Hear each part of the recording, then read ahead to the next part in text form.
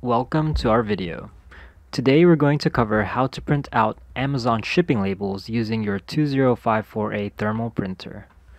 If you're just starting to set up your printer, you need to first watch the 2054A setup video before watching this video. Once you've done that, you can come back here. When you receive a seller fulfilled order from Amazon, it would give you the option to purchase your shipping label. Also, it would ask you what format you would like your label to be in. Make sure that the orientation is portrait from PNG or PDF format. Next, we are greeted with a page where you are able to print out your label.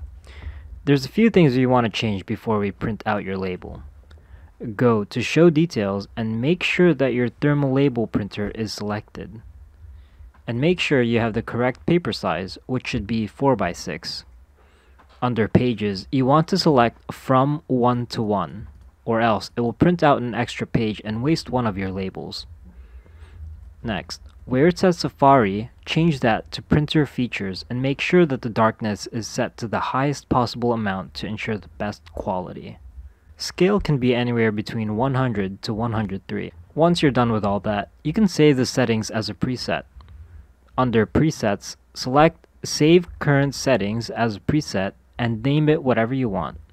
I would personally name it something along the lines of Amazon 4x6 label. Because if you have more than one sales channel, let's say you are selling on eBay, Shopify, and Amazon, your settings may vary from one platform to another, so Amazon preset may not work for your Shopify preset. But next time you print out on Amazon, you can select your Amazon preset and all your settings would be ready to go.